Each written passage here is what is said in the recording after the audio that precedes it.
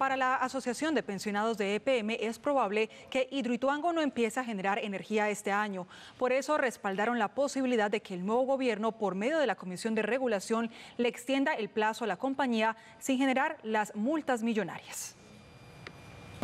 El cronograma para la entrada en funcionamiento de las dos primeras unidades de generación de energía está tan apretado que conocedores del sector consideran que EPM necesitará un nuevo plazo afiliados nuestros respecto al tema de generación ven muy difícil, por no, decir, por no decir imposible, que estas primeras unidades entren en servicio en noviembre.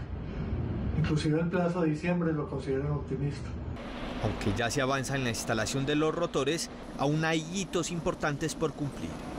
Sin embargo, todavía falta instalar la parte superior de la máquina, instalar todos los sensores, sistema de control que permite el control, el adecuado, el adecuado control y manejo de la máquina se, están haciendo trabajos también subacuáticos en las rejas de captación y otro trabajo muy importante es el que se está haciendo en la conducción de alta presión a los generadores.